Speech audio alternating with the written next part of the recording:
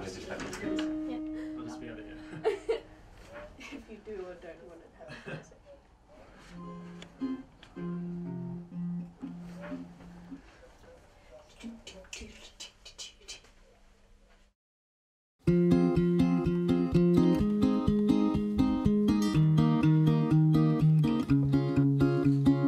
We are eating from the gutters in the valley. We I don't know. I am 16 and I grew up on the Sunshine Coast and I recently moved to Brisbane like last year.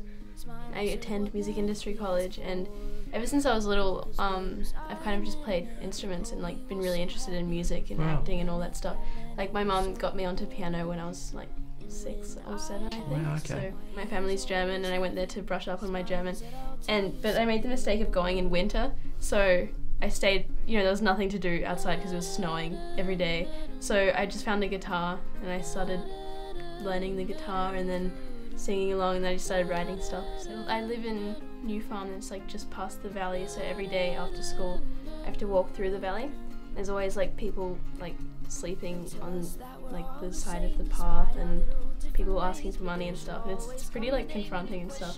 And I met one of them one day and he was just like the happiest person I've ever like seen and he and he had like nothing. I thought that's amazing. Like Yeah. like what am I complaining about my day when he's got nothing and he's really happy? Like that's a really cliche realization. But I'm only 16. Give me some credit. Yeah. I started like I was actually walking home and I started like humming like a chorus. Wow. And so, it just happened. It was one of those moments. yeah, I was just totally like